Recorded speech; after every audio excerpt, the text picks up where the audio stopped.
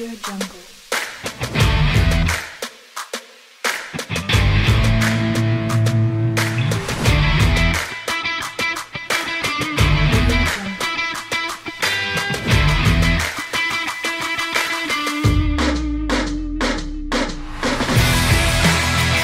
Why, hello there. It's been probably 20 minutes since you last heard my voice. But we are here for the season premiere of the SoCal Supreme Sports Show with your host, Teran Rodriguez. Oh, hey, that's me. We have ourselves a jam packed show today. We'll be talking NBA, Lakers, Clippers, the purple and gold, the team that's trying to get out of the shadow of the Lakers. Which one of these two teams will win the NBA championship? We'll also talk baseball. Los Angeles Dodgers. Can they actually get out of their little curse streak? And will the Angels? We'll talk, talk about them too. Will the Angels finally get back into the postseason? We'll also be talking about hockey, the Anaheim Ducks, and the Los Angeles Kings. What happened to those two teams? And what can they do to possibly get back to the postseason? We'll also be talking about the NFL, Rams, Chargers. What do those two teams need to do in order to get back to the postseason and to possibly get a Super Bowl for the City of Angels? Also, we'll be talking a little MLS action. The LA Galaxy, LAFC. Which of those two teams will we be seeing in the championship, and which team will be falling flat on their face? Also, we have a little college. I will be talking college. It's not just going to be USC. It's not just going to be UCLA. It's going to be Cal Baptist, Cal State Fullerton, Cal State Long Beach, U- University of San Diego, San Diego State, Pepperdine, even Loyola Marymount University. All that here on the SoCal Supreme Sports Show. Once again, this is Teran Rodriguez bringing you the first, and certainly not the last, episode of the SoCal Supreme Sports Show on iSports Radio, your direct feed for all that is sports.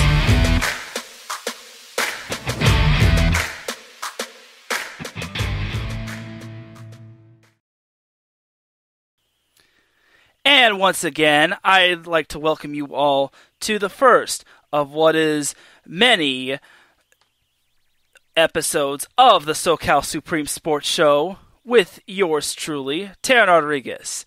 And it's great to be having a change of pace in terms of shows. I know I just had a quick turnaround in terms of shows such as Set Point all the way over to here, but it feels really good to actually have a new show in terms of like pro sports.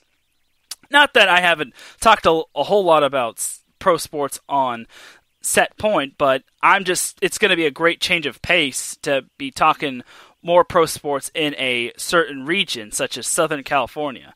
Without any further delay, let's get ill with that pill. Starting off with the NBA, Lakers Clippers. We all know the Lakers have clinched their spot in the playoffs. So good for the Lakers. They're back in the postseason. It's been a while since we've seen the Lakers in the postseason.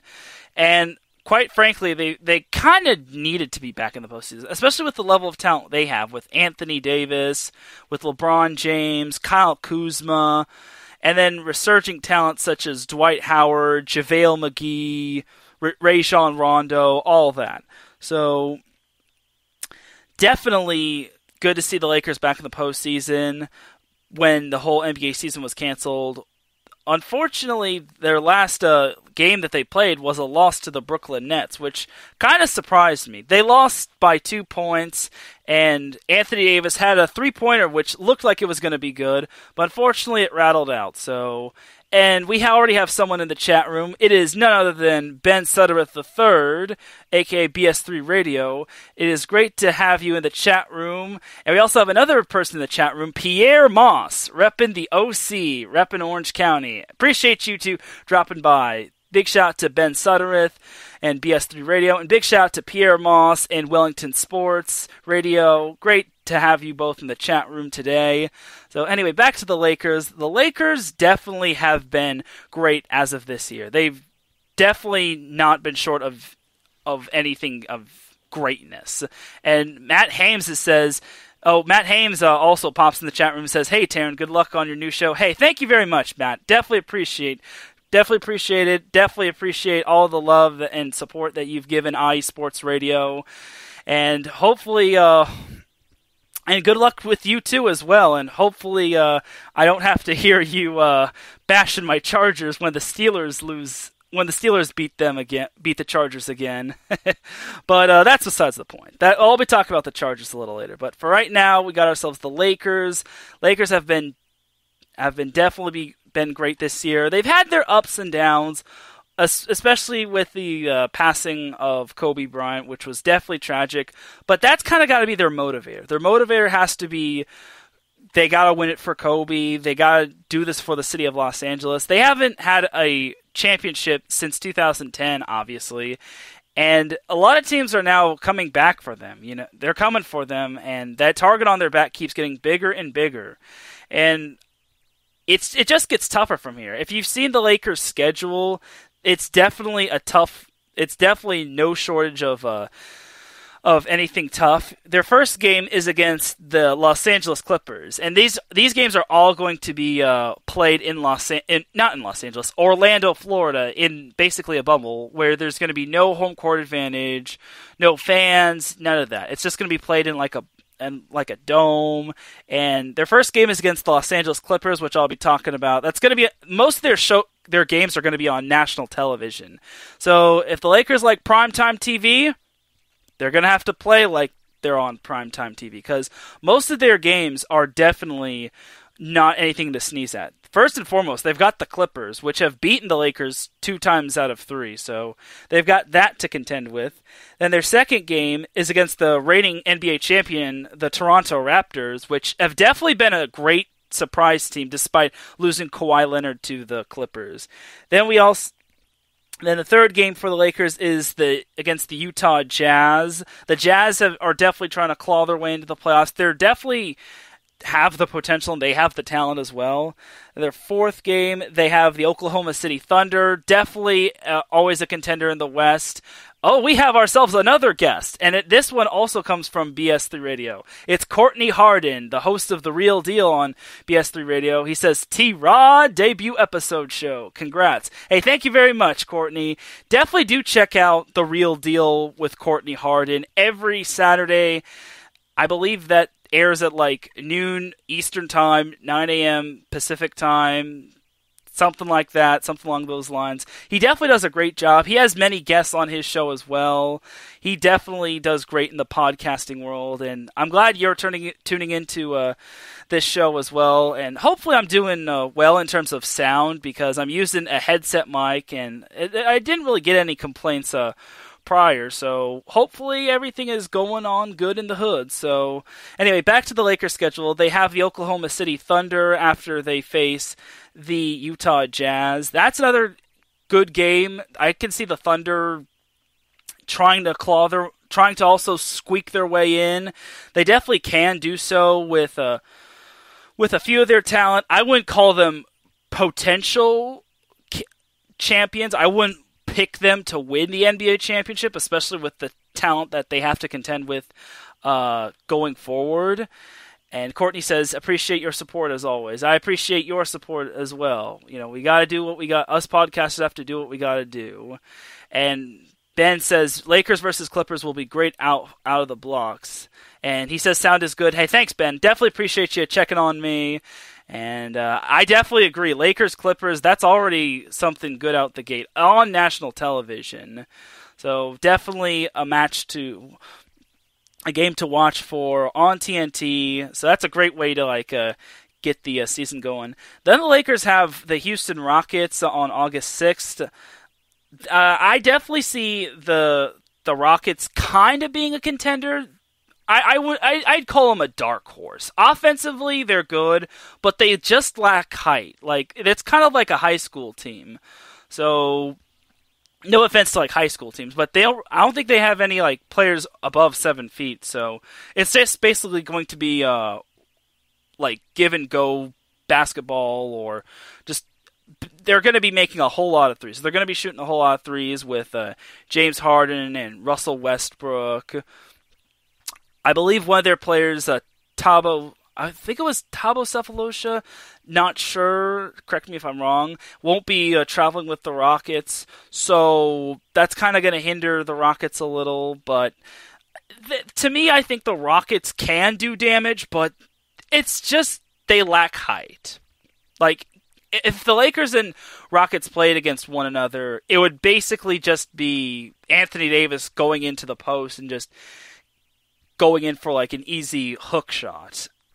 That's just kind of that's just how much height the Rockets are giving up, unfortunately. So, but to each his own. Um, I just also gotta get the disclaimer out of the way. These are the opinions of Teran Rodriguez and not of IE Sports Radio. And then the Lakers. So anyway, back to uh, the Lakers schedule. They also have the Lakers also play the Pacers as well. The Pacers are also a solid team in the East. They're not the Oh, uh, Ben Suttereth says Rockets are not going far. Yeah, I kind of agree. I was kind of a little high on the Rockets, but uh, I don't really trust no D D'Antoni.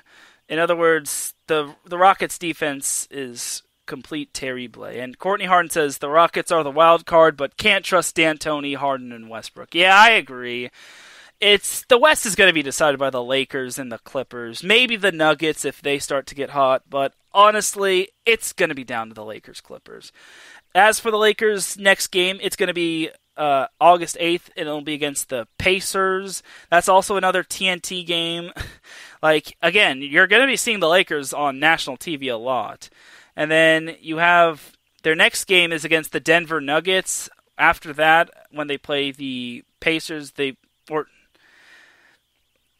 after their game against the Pacers, they play the Denver Nuggets. That again, that's a great team.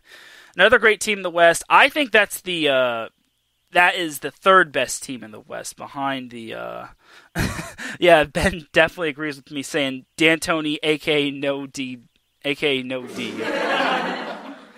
Unfortunately, I don't have the Kawhi Leonard uh, sound effect slap. Otherwise, I'd be implementing that in there. So, anyway, as for the Denver Nuggets, that's definitely going to be a great game. I definitely can see the Nuggets giving the Lakers a bit of a battle. All of the Lakers games are going to be battles, just an FYI. And even their last game being against the Sacramento Kings, that's which is to be determined. That's going to be on August 13th. I if if everything goes right for the Kings and the Lakers lock up the number 1 seed, you could see the Lakers resting a majority of their starters, and you could see the Kings just straight up going guns a blazing, trying to get that last spot in the playoffs. Because the Kings have long been yearning for a chance to get into the playoffs, and they've been long yearning for an NBA championship. So they're definitely going to want to bring their best their best shot against the Los Angeles Lakers, especially in the final game of the season. So I expect the Kings to uh, basically just go all out. And honestly, the Kings can make the playoffs, but it's just doubtful. Like, it's pretty doubtful for the most part. But anything can happen in this shortened season because now the season is pretty much reaching its climax. Again, we we know the Lakers are a lock for the playoffs. It's not a matter of when; it's a matter of where the Lakers are going to be if that really makes sense. I I don't know. Like the Lakers could finish as the top seed, or they could finish somewhere in the middle. Heaven forbid. But I could see the Lakers pretty much trying to clinch that top seed in the Western Conference. They definitely do appear to be the favorite, but you also got to watch out for the Milwaukee Bucks. The Bucks are definitely having a great season. The Raptors, like I said, are having a great surprise season despite all of their roster, despite most of their roster turnover. Um, Nick Nurse has done a great job over there at Raptorland. Um, the Celtics can be a dark horse team in the East. The Miami Heat is the well, and I say that because they've pretty much locked up a playoff spot. The Heat are pretty good as well. The Clippers, like I said, are the Clippers, which I'll be talking about in a little bit. Might as well just transition to them. So the Clippers, they're just they're pretty much on their way of clinching a playoff spot. They're pretty much knock on the door and they want to be let in. And this is probably their year to win the uh, NBA championship if if they pretty much come up big in the playoffs. obviously we've seen it year after year. The Clippers find some way to just belly flop their way out of the out of a championship. They've had pretty great. They've had some pretty solid teams in the in the past, but they've just haven't had the the proper. They just haven't come up big in the playoffs. Like I remember they blew a 3-1 lead to the Rockets and I think they had like a 20 point lead at one point in game 6 and then they found a way to just lose it. And it's like, "Really? You really lost that? You lost a 2 a 3-1 lead and you lost while you were up like 20 in game 6? That's embarrassing, man." So Clippers are trying to get out of the Lakers' shadow, and and here's the thing: it's not that I don't like the Clippers. I am a Laker fan, obviously, just as a disclaimer, but I don't necessarily hate the Clippers. I like Kawhi, because of his uh, story. I like Lou Williams and his passion for the game. I like Paul George. Doc Rivers is a great coach. It's just that all these random Clipper fans coming out of the woodwork where did you where were you when the when the Clippers were kind of average or were just nowhere near nowhere to be found and they were the butt of everyone's jokes. I'm not trying to take a shot at Clippers Nation. Like I like like Clippers. The Clippers actually have fans. One of their fans in general is Clipper Darrell, who's a really nice guy. I've met. I actually saw him at a Clippers Lakers game. Really chill guy, and he just wants what's best for his team. And it's not easy to cheer for a team that's always it's not had success. It's it's definitely easy to to cheer for a team that's been successful, but what about the years where you've just been unsuccessful? Like, if you're a fan who's definitely cheered for a team that's gone through its lowest of lows, but now is reaching their peaks and their highs at the moment, then take a bow. I'll give you a light applause.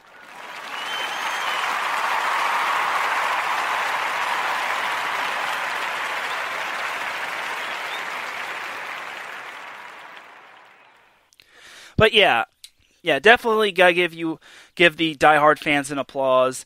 Um, for the Clippers, however, again, it, it's not that I don't like the Clippers. I mean, I respect them. It's just that the random fans that are coming out of the woodwork saying, "Oh, I've been a Clippers fan for such and such year." It's like, when was the last time the clip? Were you there when the Clippers were like back in San Diego? Uh, it's like sometimes it just gets me thinking are they really Clippers fans or are they Lakers haters? That's just my thing. Like Clipper Darrell is definitely a diehard Clipper fan, but all these other Clipper fans that are just randomly saying, "Oh, I don't like the Lakers. I've always, never liked the Lakers. I love the Clippers." I need a receipt for all the years you've been cheering for the Clippers. I just need a receipt. If you don't have a receipt, I don't want to hear it. but but as for the Clippers themselves, uh, like I said, they open up their uh, relaunch season against the Lakers on July 30th, and then after the game against the the Lakers, they face the uh, New Orleans Pelicans. The Pelicans are an interesting team. They're trying to claw their way into the playoffs with Zion Williamson, and especially with when they have like former Lakers players such as Brandon Ingram, Lonzo Ball, and and just to name a few as well. So so I definitely that's another eye-opening matchup. I don't I could see the Clippers winning that match, but uh, who knows? Pelicans are definitely going to want to bring their best. So, and again, all these mat these games are going to be played at uh, in in Orlando, Florida. They're not going to be. There's no home court advantage. There's no fans. None of that jazz. As for the Clippers' next game after the uh, Pelicans, they play the Phoenix Suns. Uh, the Phoenix Suns. I could see the Clippers just beating the Suns. The Suns. No offense to Suns fans and the Phoenix Suns, Devin Booker, all that, DeAndre Ayton, but the Suns they're they're still yearning for that golden opportunity. They had their chances back when they dominated the Eastern Conference when they had Steve Nash and Shawn Marion and Amar'e Stoudemire and all that. But their their time has not come yet. So unfortunately to the Suns, their time isn't quite there yet. Soon though, soon, Ho- hopefully soon for for your sake. And after the Suns, the Lakers or not not the Lakers, the Clippers play the Mavericks on August sixth. Uh, the Mavericks are basically in uh, do or die mode. They definitely are also going to want to take their best shot against certain teams. So we'll see what the Mavericks have to offer. But I can see the Clippers winning that match as that g- game as well. I keep saying match when I should be saying game. I, I need to get my mind out of volleyball and I need to get it into need to get into basketball. I'm sorry. Uh, I'm sorry. Again, this doesn't help that I just came off of doing set point, but that's besides the point. The point is, uh, next match for ne- next game for the Clippers after the Mavericks, they play the Portland Trailblazers. Now, the Portland Trailblazers are a, definitely a team that wants to get into the playoffs, and they actually came to life, and they've they're kind of one of the more revitalized teams. So the Clippers, uh, I can see them winning that one, but it's kind of going to be close. So after the Trailblazers, the Clippers play the Brooklyn Nets. That's the second of a back to back for them. The Nets, again, that's another team that's trying to make the playoffs. I think they'll have Kevin Durant and Kyrie Irving both back uh, back at full strength. So that could be a loss for the Clippers, but to me, I think the Clippers. I think the Clippers can win that one. Like, I'm not trying to say the Clippers will go undefeated, but you you got to prepare for the worst. Like, the Clippers definitely have a pretty winnable schedule for them, but it all depends on if they can actually come up big. Like, can they come up big? And uh, Ben Stuttereth III says, "Go Mavs! They're not going fa- far either." So, uh, yeah, probably not. Like, I don't see them actually going to win the NBA championship. Like, if they actually win the NBA championship, then bully for them. But can they beat the Lakers? Can they beat the Clippers? And if they get past those two teams, can they beat the Bucks or the Raptors or the Celtics? Uh, unless Dirk Nowitzki in his prime comes back, so not really happening. Sorry, Ben, but we'll see. We'll see. And crazier things have happened before. So after the uh,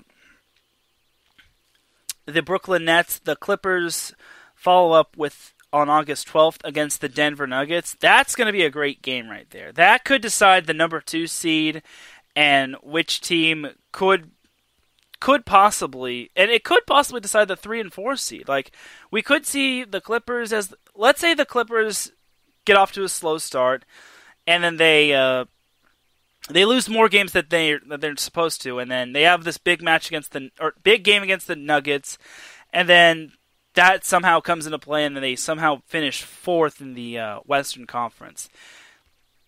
Basically, it would be four versus five, and then they somehow win that first round matchup. Then they, then the Lakers, which are the number one seed, assumingly if everything goes well for them, they win their first round matchup, and then we could see the Lakers versus Clippers in the set in the uh, Western Conference semifinals. So who knows? We we could it could happen. It could possibly happen, and and then the Clippers round off their uh, season on August 14th against the Oklahoma City Thunder. Again, the Thunder are an interesting team, and I definitely think the Thunder will are gonna probably want to bring their best shot against against uh, all these teams in in in this whole little uh, playoff round robin because they want to make the postseason. That's for sure. They're, the only thing is, in order to make the postseason, you actually have to beat some of the better teams like the Lakers and the Clippers. Only then will you make the uh, postseason. So we'll we'll see. Like the Thunder have the Miami Heat on their schedule. They also have, like I said, they have the they have the Lakers. They they have the Suns, which they could win. They have the Wizards, which they they definitely should win against.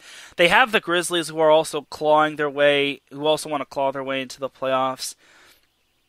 They also have the Denver Nuggets. That's a crucial game for them right there. we also they also have the Utah Jazz on August first. Another crucial game right there. So the Thunder definitely have some challenging games. Like it, they, these are going to be. This is basically dog eat dog right here. So no team is basically safe from one another. So I expect nothing more than an all-out dogfight. And even the teams that are already locked up a spot in the playoffs, they're not even guaranteed to possibly be the number one seed. Like, I, I'm a little concerned for the Lakers. Like, I definitely think the Lakers can go far, and I definitely think they can win the NBA championship, but it's all about them putting it all together. Like, they did sign J.R. Smith as Avery Bradley decided to opt out, and I think J.R. Smith is definitely going to bring his best when it comes to the Lakers. Obviously, he wants to redeem himself after that blunderous blunder in that in that uh, game one against the uh, Golden State Warriors in the NBA Finals, and I, I feel for the guy. Like I feel for the guy who hasn't had a job and like on a team in like forever. So me personally, I think this is J.R. Smith's time to shine. I think this is kind of his redeem factor.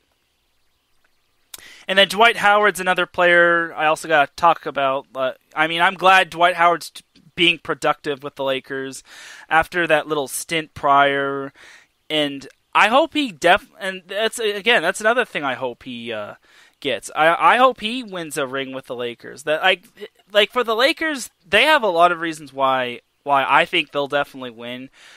One because they obviously got to win it for Kobe who uh, sadly passed away along with his daughter and all that. Two, because a lot of these players on their team are like journeymen, like JaVale McGee, Dwight Howard, Rajon Rondo. And then also Kyle Kuzma wants to prove himself that he's not just a, an an extra option. Like he wants to prove himself like he is a key player for the Lakers and that he's not just he's not just there with LeBron and AD. Like he wants to prove himself as a, like a trifecta, and I think he can. Like I'm definitely like he also wants to prove himself like why the Lakers did not trade him for Anthony Davis because obviously the Lakers gave up a lot for for AD, but it's going to pay them dividends. And they also and also the Lakers have Dion Waiters who they haven't seen yet, so We'll see. We'll see. And the Clippers also uh, signed Joakim Noah. I guess that's a good signing. I guess, but it's a eh signing.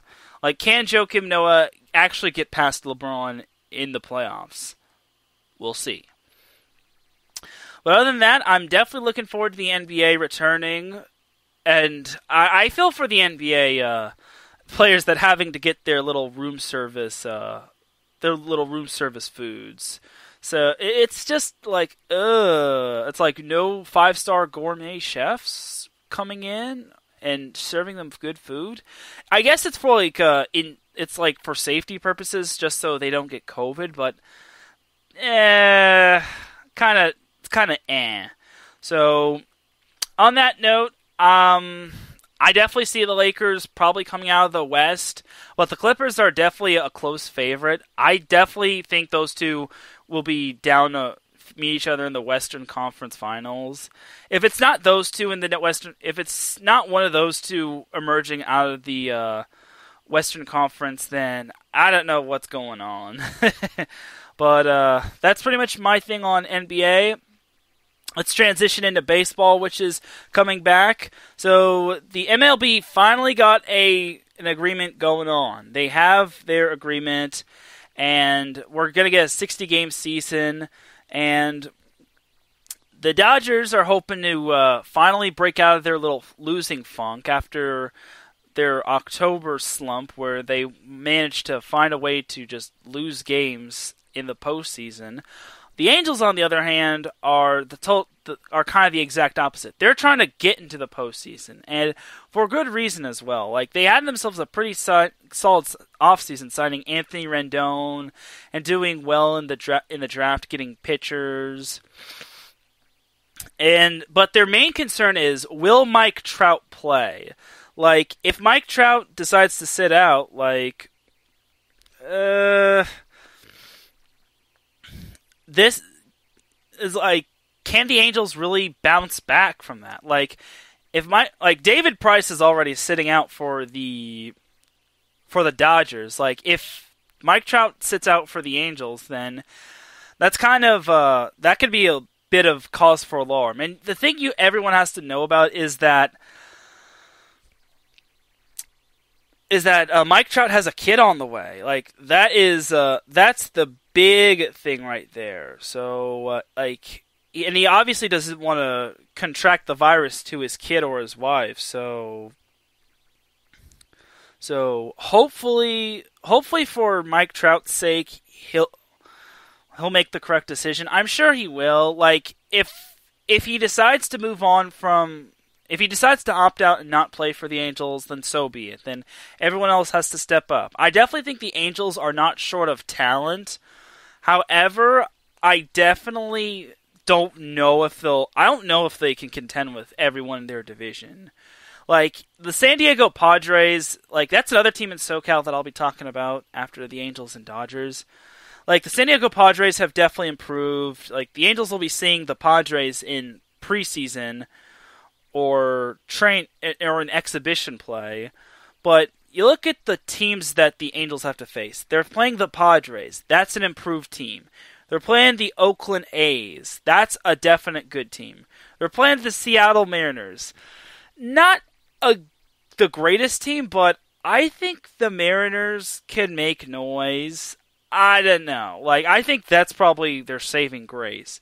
Then they're also then the Angels are also playing the Houston Astros. Definitely a tough team. Then they're playing the Texas Rangers. They're also in their division. A not not the team I'd take to win the to the, win the MLB uh, World Series, but eh, no, they're okay. They're not great, but they're not bad. They're kind of borderline. They're not good. Then, then you also have the Dodgers in that division. Dodgers are always a great playoff contender. San Francisco Giants, they've had a little bit of an off. Uh, they've been off the past few years, but but when they're on, they're on. So, so, and then you also have the Arizona Arizona Diamondbacks, which they're they're kind of on the rise as well. And you also have the Colorado Rockies, which, ugh, no, I, I don't think the Colorado Rockies can do some damage. They're kind of the surprise team, however, especially if you play at Colorado because of altitude purposes. But to me, I don't think the Rockies pose much of a threat. So, but MLB, the MLB has given the Angels a much better chance at making the playoffs. Like, like I think their playoff chances were like fifteen percent last I checked.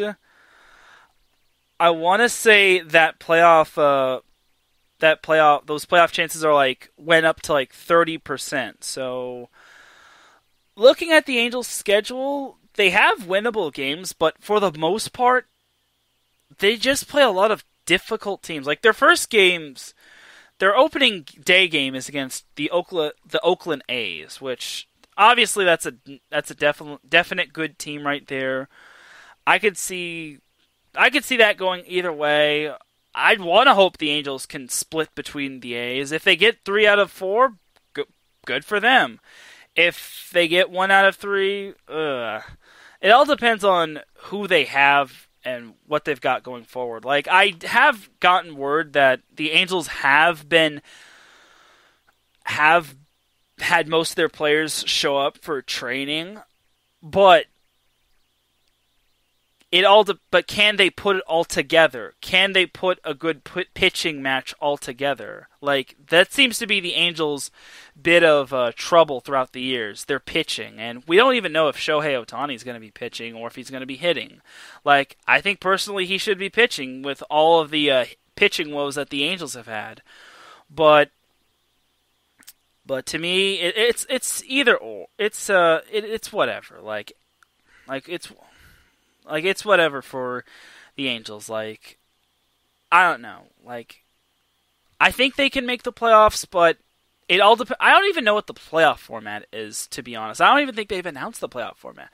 Like my bit of playoff format is the top 10 teams get into the playoffs and then the or not not top 10 teams, the uh the top 3 teams from each division. If they're not going to go with the AL and NL, top 3 teams from the East, top 3 teams from the West, top 3 teams from the Central, and then and then the remaining the best team of the remaining teams that didn't finish in the top three of the Central, East, and West gets into the playoffs, and then the worst team that finished in the top three of the Central, East, and West has to face the the uh, wild card, the little wild card team, or or maybe just have like the top ten teams in the playoffs, or just maybe have top ten teams in the playoffs in general, or, or and then maybe have like a 7 versus 10 seed and then an 8 versus 9 seed and then basically like wild cards. Uh, i still like the whole uh,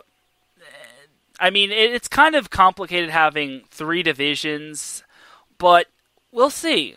I think we'll see how it goes i mean spring tr- i mean uh, exhibition games don't start until july 20th and then opening day is on July 24th.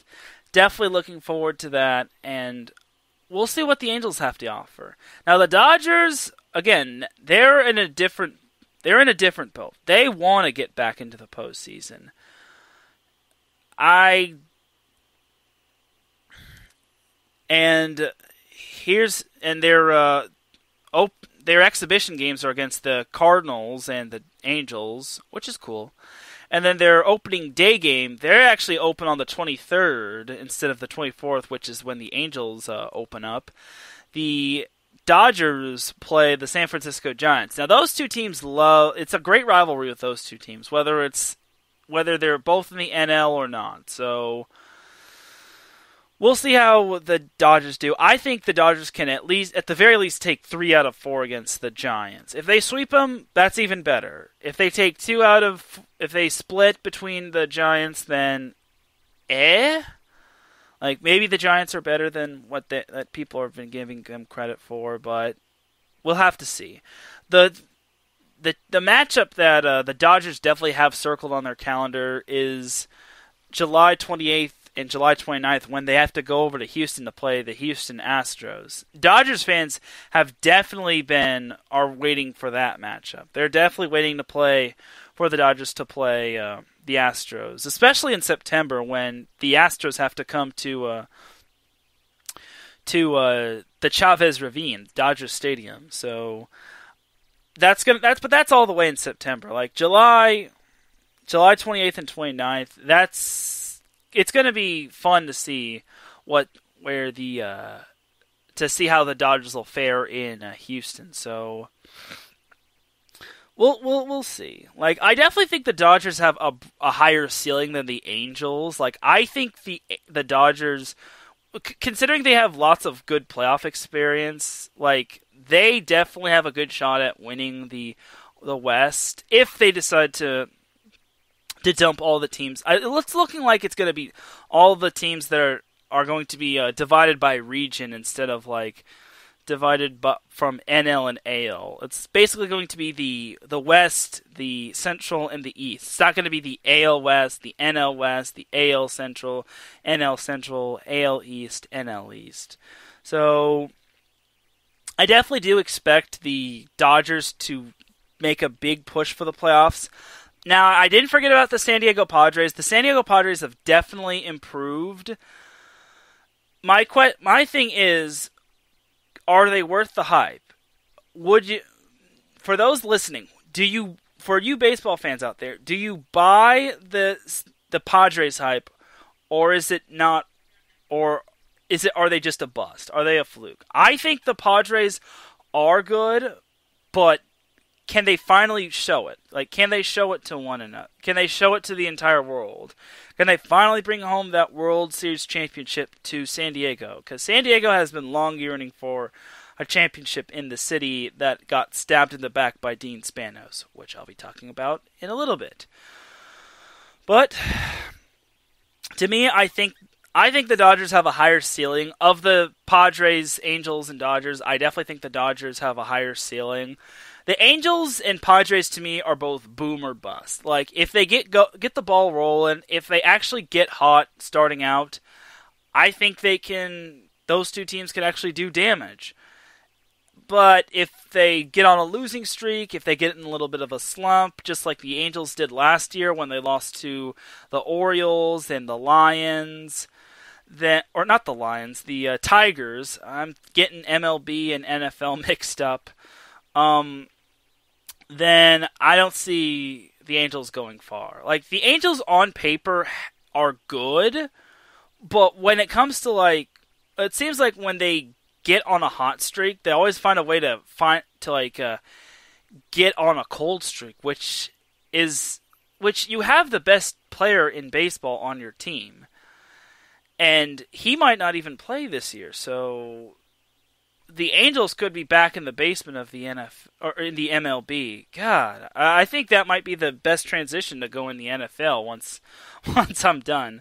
But I really want the Angels to be successful. I think it's about time we stop looking at the Angels as a punchline and look at them as a possible playoff contender. If the Washington Nationals can beat the Houston Astros in the World Series, then maybe, just maybe, the Angels can actually make the playoffs with Mike Trout and possibly have a deep playoff run. Or maybe the baseball gods will use them as their toilet of sadness. But wait, we'll have to see. So before we transition to the NFL, we're actually going to take ourselves a little bit of a break. When we get back, we'll be talking some NFL, some MLS, a little bit of NHL, and some WNBA, and we'll be talking a little bit of college sports, even though that's not been going on. So you're listening to the SoCal Supreme Sports Show here on IE Sports Radio, your direct feed for all that is sports. Lay down music, music,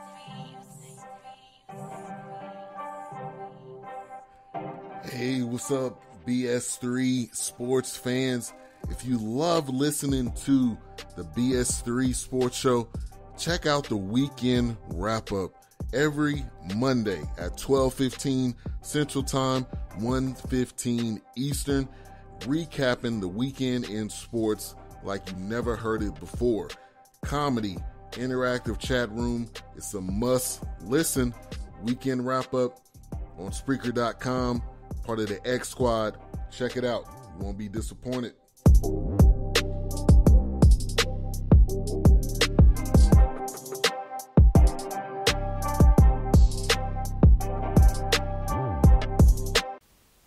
Attention, all sports fans! If you're someone who wakes up each morning with a list of sporting events to go along with your to-do list for the day, then you just might be a diehard. The world of sports is as vast as the ocean is deep, including the major leagues, the minor leagues, the college, and everything in between. This is me, your boy Larry B of IE Sports Radio, welcoming you to join me every Monday evening at 4 p.m. Pacific, 7 p.m. Eastern on The Defining Moment, a show that focuses on what really matters in the sports world, sports themselves, and nothing outside of them. Once again, tune in for the defining moment with me, your boy Larry every Monday evening at 4 p.m. Pacific, 7 p.m. Eastern on IE Sports Radio, right here on Spreaker.com. We'll see you there.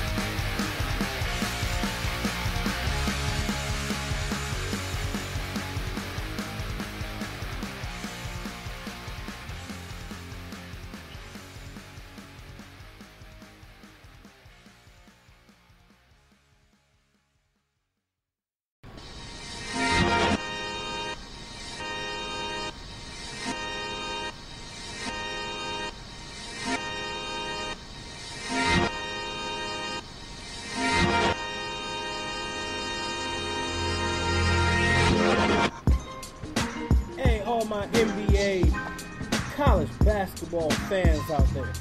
Tired of hearing about just the dramatic stuff in the basketball world. Tired of hearing about what such and such reward tonight. And not about the game? Hey, leave all of that alone. Cause on Wednesday night, I got this show called Fast Break with Phil Jones here on the IE Sports Radio. and all we talk about is straight basketball. From where it comes down to the NBA, the NCAA, and even the WNBA. I don't discriminate. I give all my NBA, my basketball, whatever you want with sports, to the slam dunks, to the three pointers, to the teardrops, to the game winners. I'm there. I'm speaking about it. I have a debate. I have my panel. I got a squad that rolls in, and we're gonna be talking mad sports. We're gonna be talking about the Lakers. We're gonna be talking about even the Brooklyn Nets. We're gonna be talking about who's the top team out there in the NBA. So, tie all the drama, tie all the.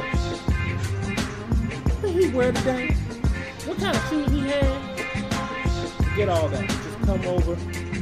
Fast Break Phil Jones here on IE Sports Radio every Wednesday night, 8 Eastern, 5 p.m. Pacific time, y'all. So, yo, tune in.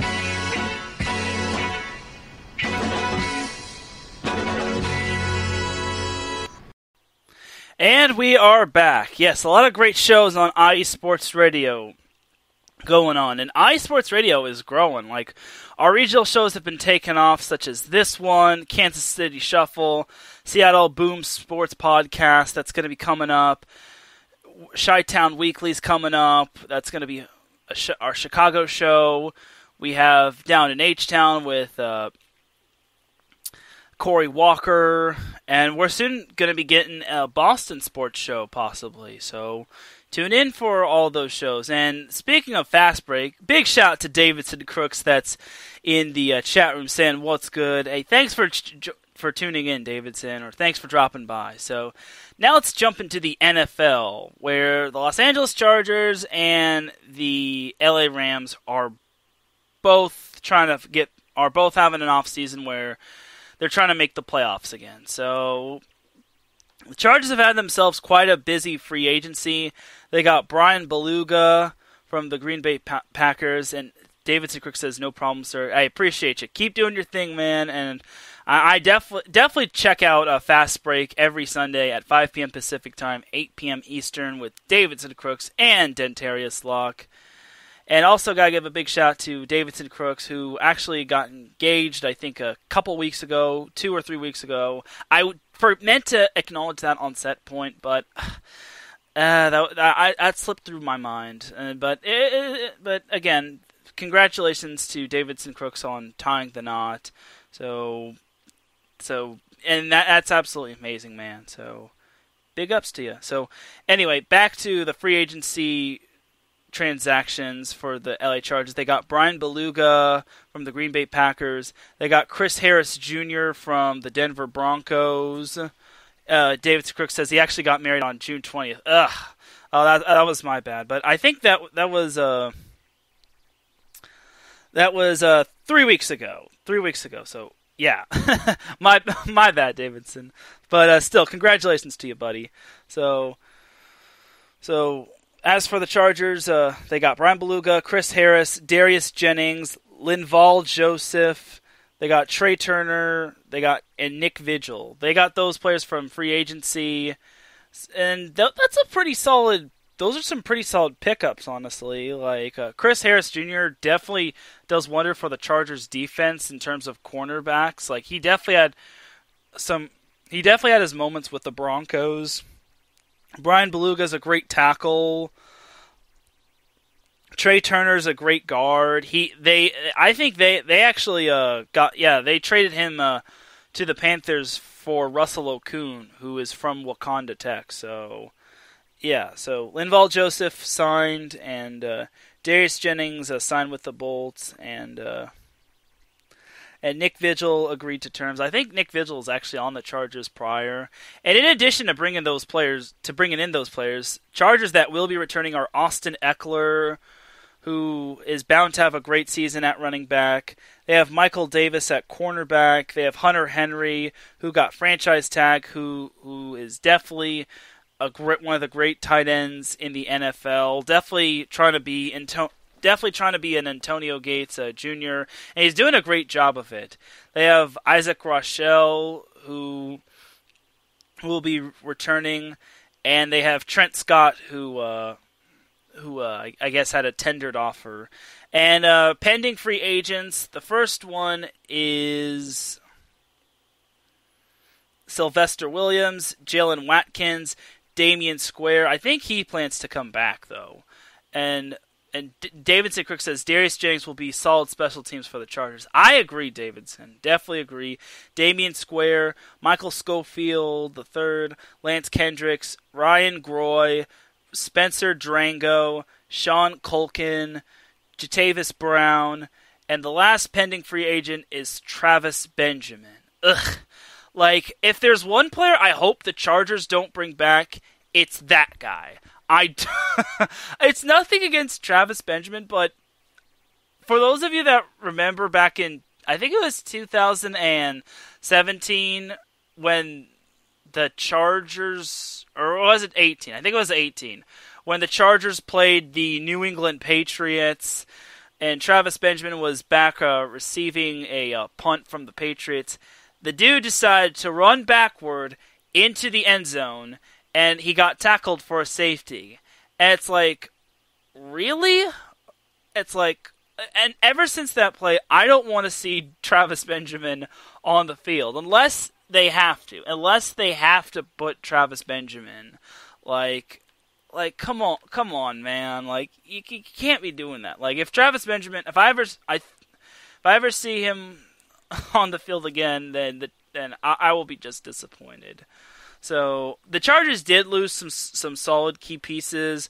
One of which was Philip Rivers, which obviously was a big loss. But they drafted, but they drafted uh, their quarterback uh, from Oregon, being uh, ah, ah, I'm blank. I'm actually blanking on his. name. Uh, but they did draft a quarterback, and they still have Tyrod Taylor. I can't believe I'm blanking on the quarterback's name. I, I, I should know this uh, quarterback, but uh, but uh, I definitely think the Chargers are still fine in terms of uh, of uh, possible quarterbacks. Justin Herbert. How did I forget his name? Like Justin Herbert. Uh, they drafted the the uh, Chargers drafted Justin Herbert. Yeah, yeah. Thanks, Davidson. Like I, I, I, I can't believe I forgot who the Chargers already drafted already. but uh, yeah, yeah. Justin Herbert is. They the Chargers drafted Justin Herbert, and they still have uh, Ty- Tyrod Taylor, not Tyrod, and they still have Easton Stick, who uh, I believe came from North Dakota State. So honestly, I think the Chargers, in terms of quarterbacks, are still okay, but uh, some some of their free agent departures are Dylan Cantrell, Jeremy Davis, Nick Nick Nick uh, Zubar Zubnar Dun. I, I can't pronounce his last name. Melvin Gordon, Adrian Phillips, Tremaine Pope, and obviously Philip Philip Rivers and Derek Watt. Uh, Derek Watt went to be with his uh, his uh, middle brother in uh, Pittsburgh. Melvin Gordon getting signing with the Denver Broncos is kind of iffy. Iffy on his part because he has to contend with Philip Lindsay and uh, and uh, I'm for, I'm blanking on the the other running back, but he still is going to have to split time with uh with uh whatchamacallit, uh with with uh Philip Lindsay. So we'll see we'll see how far uh our we'll see how far Melvin Gordon can go. Like if he can go if he can actually make do with the uh with in uh in with Denver then then cool, but if not then uh then I, I don't know. I I kind of question that. Like he's gonna be a second fiddle to. uh He's gonna be second fiddle behind uh Philip Lindsay, but if anything, may who knows? Maybe Royce Freeman. That's his name. So yeah, he's definitely gonna have to play a third. He's definitely gonna need to like earn his time behind uh, Philip Lindsay. Like if he had gone to like a team that needed a running back, like maybe say Tampa Bay, I think that would have been crazy scary. But I think Tampa Bay might have broken the bank uh, in terms of signing Tom Brady. So, well, we'll see. Like if if Melvin Gordon can can find a good home with the Broncos, then cool. Like, but I but I personally will miss Philip Rivers. Like I kind of have bashed him a lot. But if uh but uh, but I'm glad uh, Philip Rivers is going to be going to a team that actually has a fan base and that has an offensive line, being being the being the Indianapolis Colts. And and it's not that I don't want like it's not that I hate hated the fact that he left, but I think it's time that he has a different change of scenery. And I think this is his last year. I think this is Rivers' last year as a player in the NFL. I think next year he's going to coach in the in uh, at a at, at in a high school in Alabama. He's going to be coaching football in a high school in Alabama. So we'll see. We'll we'll see how we'll see how it it goes. We'll see how it goes. To be honest, I think uh, they definitely. I think the Colts can definitely do some damage in the AFC South. As for the Chargers, I kind of actually, even though I'm a Chargers fan, I'll try not to be too much of a homer, but I think the Chargers can actually do well in the AFC West. I know the Raiders have gotten better, the Broncos have also improved, and the Chiefs still have uh, Patrick Mahomes for a little while longer. Hint, hint, 12 more years. But I think the Chargers, the Chargers to me are a frisky team. Like they're the, they're the type of team that doesn't that people expect them to not do well, but then somehow out of the blue they start ripping off wins left and right, which it's kind of a surprise. It's it's it's funny because they're a frisky team, and sometimes they just manage to do the exact opposite of what they do. Like every time people expect greatness out of them, like everyone last year was thinking, "Oh, this team might be a potential Super Bowl candidate." They wind up going uh, five and eleven. They failed to even win one game in the in the AFC West.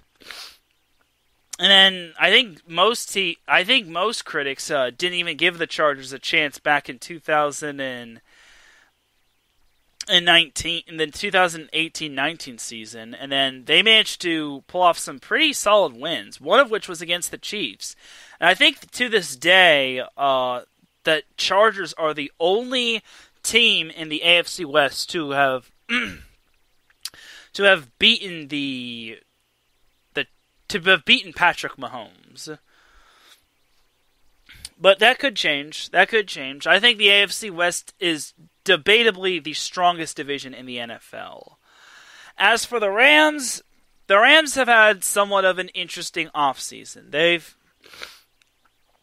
they've had a bunch of uh, players that have come and gone. They had Brandin Cooks traded to the uh, Houston Texans. They had uh, Greg Zuerlein go to the to the Dallas Cowboys. And they, they released Todd Gurley and Clay Matthews.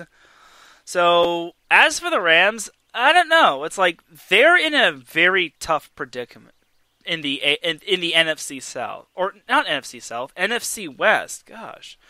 So yeah, in the NFC West, uh, they play in a loaded division with the San Francisco 49ers, the Seattle Seahawks, both of which are well, the 49ers have just now got back into the playoffs and the Seattle Seahawks have always been perennially good. And then you also have the Arizona Cardinals which just got a lot better with uh, DeAndre Hopkins and they returned Kyler Murray and Kenyan Kenyan Drake and they got better I think in more ways than one. I think they got better on the offensive line. So as for the Rams, which didn't even have a first round pick, I think it's kind of going to be a struggle for them. I think they're going to struggle a little bit this upcoming year. I mean, they still have Jared Goff, which is somewhat, which I don't know if he's the greatest quarterback. I'd take to war with him to, uh, with me to possibly win the Super Bowl.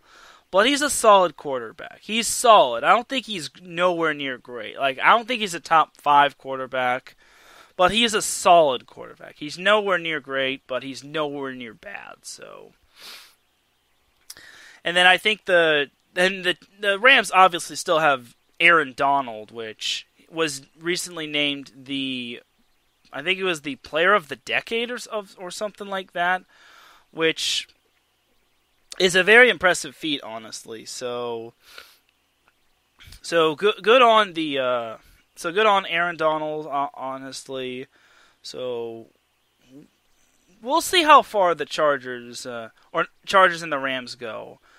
Like uh, the yeah, he is the Rams player of the decade. Uh, the Rams player of the decade, not the player of the decade. I definitely think uh, Aaron Donald has definitely made a name for himself, and I think he'll definitely continue to make a name for himself with the Rams for, for uh, as time goes by. Like he's definitely done great things for the Rams defense, and I think going forward, he'll he'll continue to uh, do great things for the Rams defense, uh, so long as the Rams decide to keep him, and so long as he wants to stay on the Rams. Like, I don't know if there'll ever be a scenario where Aaron Donald will want to go to another team. Like, if that ever happens, then boy howdy, the Rams did sure screw up. So,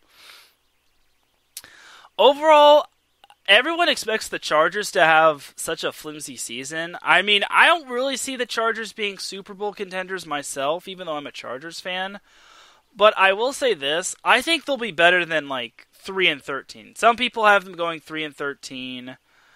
I think they're at worst they'll probably be six and ten. At best they'll probably be ten and six, if not eleven and five. Many people think many people think I'm being might be thinking I'm being a little too generous, but I think that could that could be where the Chargers end up. It's they're basically a boomer bust team. I think they're boomer bust as well.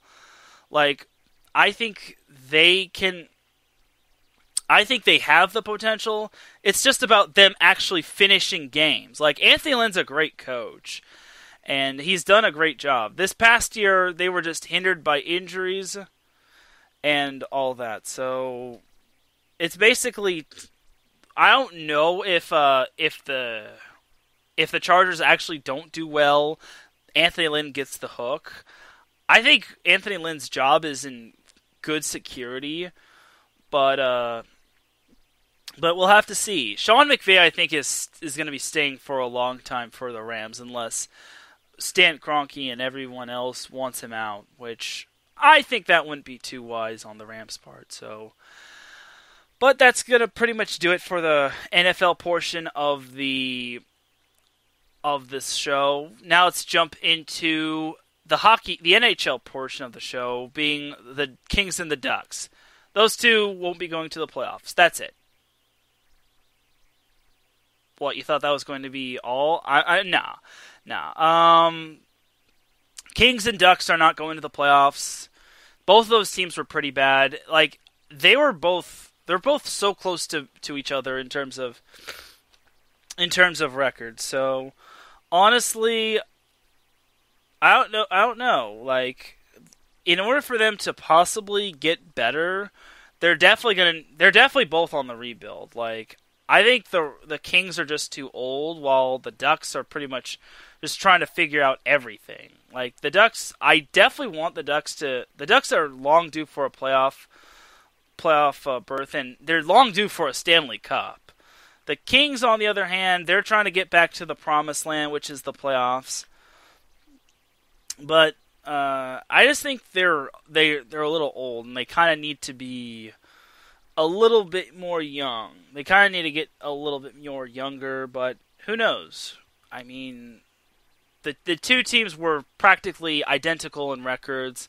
Heck, even the San Jose Sharks were weren't too far were had the same record as the Kings. So every California team won't be going to the postseason.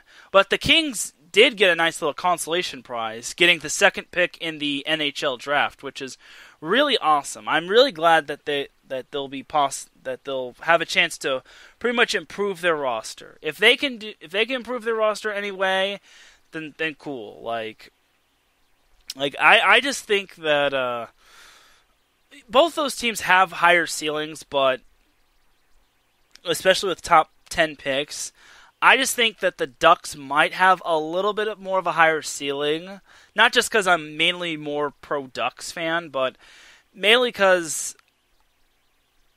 uh, because of their offensive talent, such as Jakob Silfverberg and and Corey Perry. So we'll see how it goes with those two teams. It's definitely going to be a long off season for them, but at least they're not the Sharks, right? okay, I'm kidding, Sharks fans. I'm sorry. But that's kind of pretty much going to do it for the NHL portion. I'll try to revisit that a little bit later. Again, I definitely do. We'll, we'll talk more NHL as this show progress, progresses, as this is only episode one of. Uh, the SoCal Supreme Sports Show, and I am still trying to get used to this whole thing, and it, it's kind of and uh, it's kind of t- tough to talk about the Ducks and the Kings when they, there's no postseason. They're not going to be playing for anything. I wish every team in the NHL had gotten gone to the playoffs because maybe maybe had like a little bit of an NCAA tournament factor. But honestly, I don't think it would have worked out for both those teams. So it's a big fat nope for me. So until next year, Ducks and Kings. Hopefully, we'll see in the postseason. But again, I think their future looks bright. I think their future looks bright. Like the Ducks actually had a solid start to their season, and then unfortunately the wheels fell off, and they just lost a bunch of a bunch of overtime games, which is disappointing to say the least. So we'll see, we'll see. But that's gonna pretty much wrap it up for that for the NHL portion of the show. Now let's talk about the MLS, the soccer portion of the soccer portion of the show being the LA Galaxy and LAFC. So the Galaxy and LAFC are definitely two teams to watch for. I think both, and I and uh, and with those two teams having a, will be facing each other in like a. There's going to be like a little bit of some fancy schmancy tournament. I think it's called the Welcome Back tournament, and they're they're going to be playing. They're in the same pool with one another, so so it's definitely gonna be one to remember. Like I want to say the the Galaxy are the Galaxy and LAFC are definitely in the are definitely in the same pool. Uh, but honestly, uh, can't I don't know if those two teams can actually go far. Like, if they do, then cool. If not, then so be it. Like, I I, I still can't wait for their MLS's back tournament. Like, like it's definitely a different change of pace. Like it, yeah. Here's here's the group. Uh, here's the group. Uh, the LA Galaxy is in Group F, and they will play the Portland Timbers the, on July 13th, LAFC on July 18th, and the Houston Dynamo on July 23rd. So it's going to be really cool to see. Like, I definitely want to see. Again, it will be really fun to see LAFC and the LA Galaxy duke it out in El Tráfico. Who knows? Maybe we'll have ourselves a live calling of El Tráfico. Like, I like when it comes to El Tráfico Eh, just throw out the records and just prepare for the worst. And I I definitely think the like it's too early to tell, but I think the Galaxy and LAFC are kind of right with one another. Like LAFC did knock them out of the playoffs last year, but but I think going forward, I think the Galaxy have a little bit of a bigger ceiling. Not the biggest soccer expert, but I definitely think the Galaxy can with Zlatan can definitely keep it going. We'll see though. Like we'll see. Like LAFC is just as talented as LA Galaxy. So if they if we uh, see if we see those teams uh it, it, when we when we see those two teams facing one another, I definitely expect fireworks. And I think David Bingham can definitely still has it in him despite him being uh, 30 years old. We'll see, though. we'll see. And I, I like how they also added Eric Lopez. He's from Westminster, California, which is which is cool. And then they also have Justin Vom Steeg, who is from Santa Barbara, so it's pretty cool as well. Which is uh, also cool as well. So really, really cool. So I, I guess the Galaxy don't have Zlatan, which is quite the bummer, honestly. But Zlatan had a great run. Like Zlatan was one of the reasons why I I was uh it, very interested in uh, the Galaxy this past year, not just because of Larry B and uh, Gabriel Montoya, but uh, basically the Gal. Uh, Zlatan was. Uh, I watched the Galaxy and I saw his talent, and I'm like, "Whoa, this dude is. This cat is, is balling out." So sucks that we don't get to see Zlatan anymore, but he had a great he had a great run. So so yeah, as for LAFC, I I was disappointed in last in their run last year. Last year they lost the, they beat the Galaxy in the playoffs, but then they wound up losing in the I think they lost in the conference semifinals or the com or the conference finals, which was definitely a disappointment. I think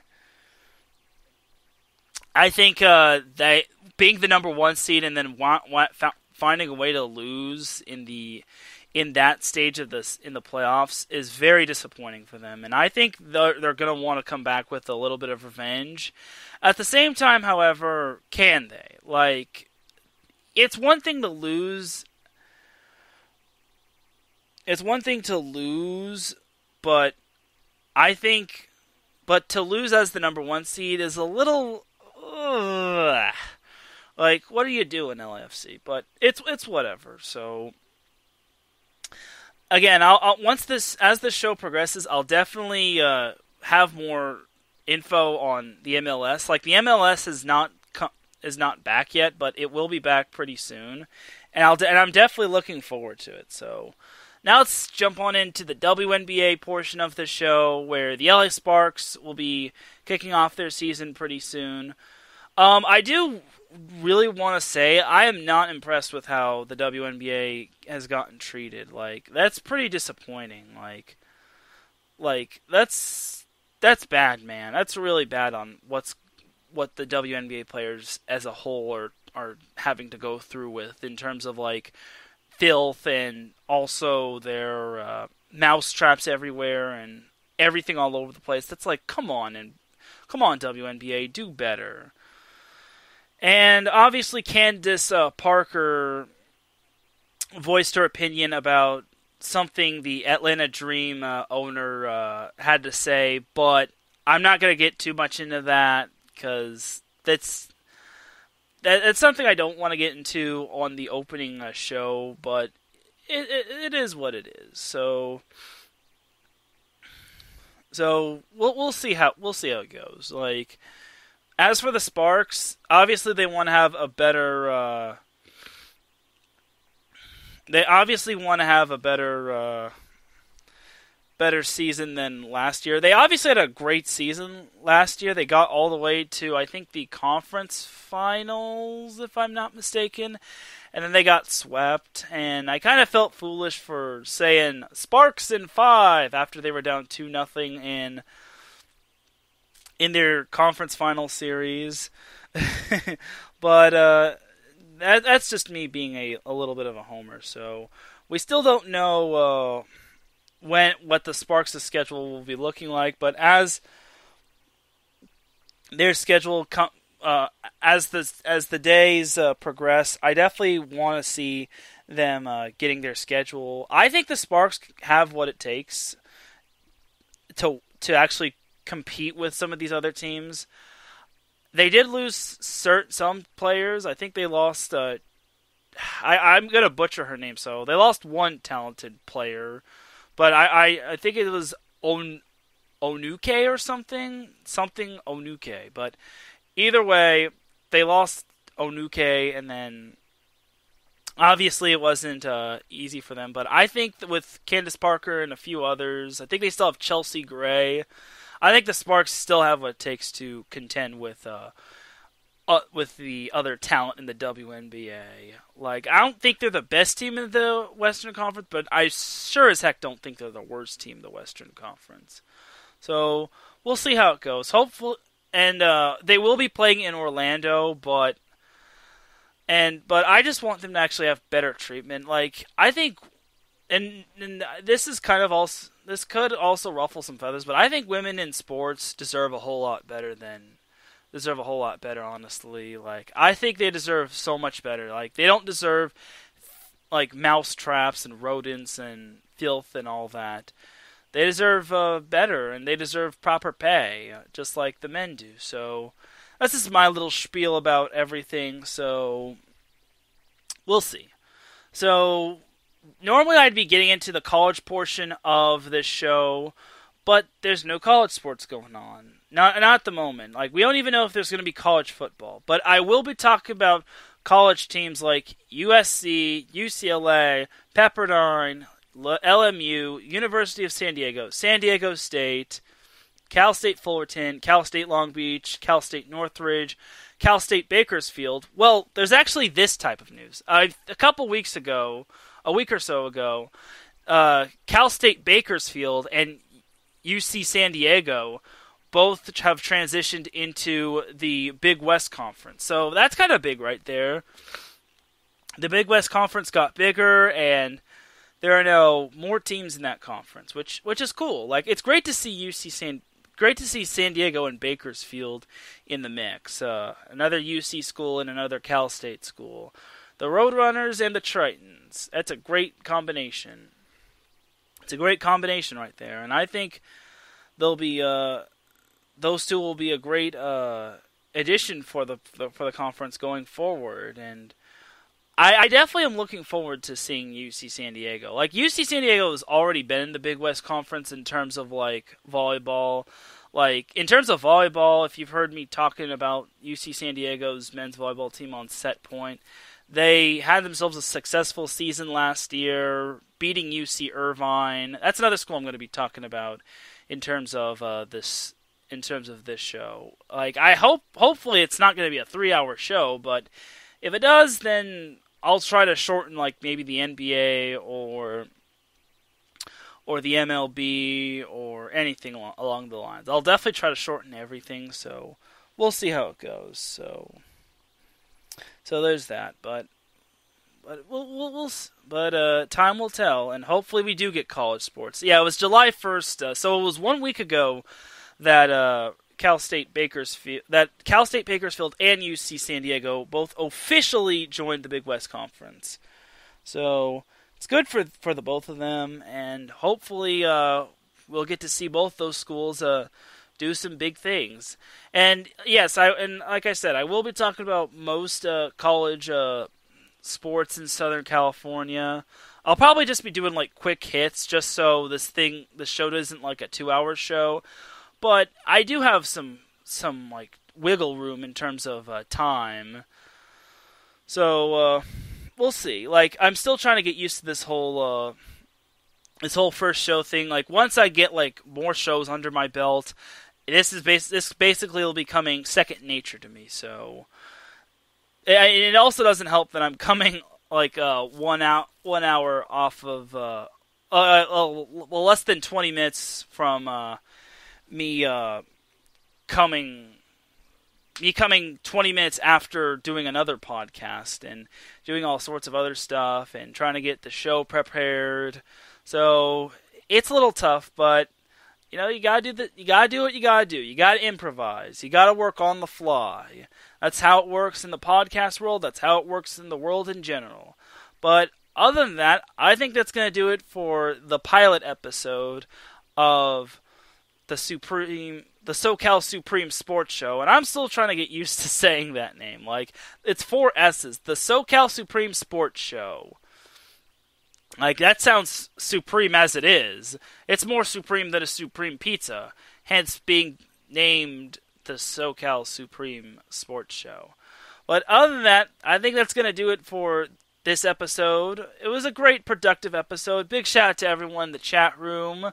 Big shout out to Courtney Harden, Davidson Crooks, Matt Hames, and Ben Suttereth III for tuning in. I definitely appreciate y'all tuning in, and hopefully y'all be. Oh, and Pierre Moss uh, saying repping the repping the OC. Yeah, sorry about. Uh, yeah, forgot about Pierre for a little bit, but big shout out to all everyone that tuned in. If you're listening to this on the replay or you're listening to this on any sort of platform, thank you for tuning in to this episode. Definitely do continue to support IE Sports Radio as we're still we're we're growing, man. We're on our way. Like we're definitely we're definitely uh, gonna we're definitely trying to be big time. We got a whole lot lot of regional shows. We also have IE Sports Radio merchandise that's on sale. We have tank tops, we have sweatshirts, we have long sleeve shirts. Heck, soon we might have sweatpants that are on sale, and soon we could have possible like show T-shirts. I, I, I'm I'm kidding, by the way. Like we're we're obviously not gonna have. Go, we're not obviously not gonna be that big time, but we're definitely uh, gonna definitely gonna be big time in terms of like in terms of like uh, everything as a show because we definitely want to be like big, like big time, like like at least be a household name, and we're trying to get there. Like this show's trying to get there, and hopefully next and next week, I promise you all. I won't be coming off of a back-to-back podcast because Set Point will be going back to its regular time on Tuesday at 5:30 p.m. Pacific time, 8:30 p.m. Eastern time, and SoCal Supreme Sports Show will be back next Wednesday at 5 p.m. Pacific time, 8 p.m. Eastern time. So that's pretty much going to do it for this episode. Continue to support IE Sports Radio. Give us a like on Facebook. Follow us on Twitter and on Instagram at IE Sports Radio. Make sure to subscribe to us on YouTube. Follow us on other platforms such as TuneIn, Spreaker, all that. And without any further delay, it's time to play that music because I gotta get me some dinner. You feel me? So thank you all once again for tuning in to the Supreme, the SoCal Supreme Sports Show. My name is Teran Rodriguez. Have yourselves a great rest of the day, great rest of the week, and hopefully I'll be seeing you all next Wednesday. Peace and blessings. And remember, SoCal is for SoCal.